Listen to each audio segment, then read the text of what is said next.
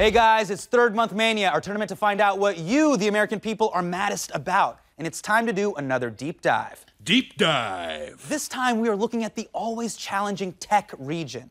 Well, the big matchup here is spoilers versus vertical video syndrome. And for me, the thing that I'm maddest about is spoilers. There's nothing worse than opening up my Facebook feed and having some unemployed idiot talking about how Game of Thrones ended before I got a chance to watch the show. Oh my God, I can't believe. Shut up! Just shut up!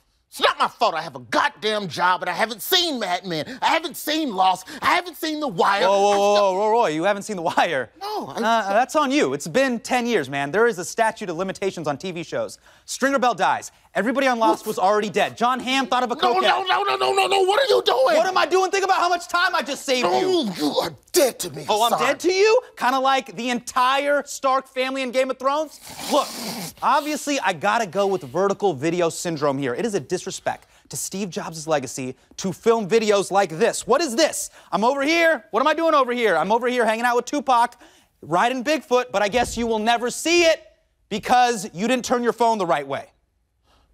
At least I still have Breaking Bad. Walter White dies too. Join us next time on Third Month Mania Deep Dive. Roy, come back. No. Roy.